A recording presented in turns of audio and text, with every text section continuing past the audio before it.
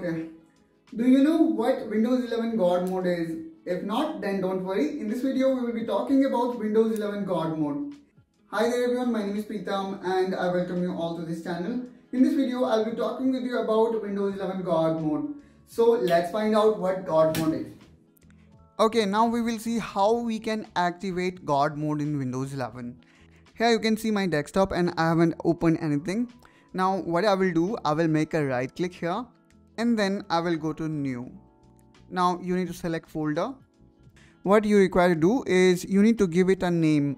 So I will provide this name in the description of this video so that you can directly write it so here why we say god mode because we need to write it like this god mode dot and then this code okay now you need to hit enter and you will see this icon will got converted to control panel icon now just click on it here you can see Fedora of settings that you can access directly let's say we want to find device manager so I will be type DEV and in this way, you know, we can very easily access it.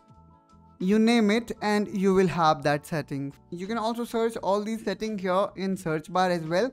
For example, I want to search for a user account. So I can type here user and in this way, you know, you can uh, find the desired setting. However, nowadays the Windows search bar is very fast and snappy. You can also find all these settings here as well. So based on your need, you can choose whichever mode you feel comfortable with.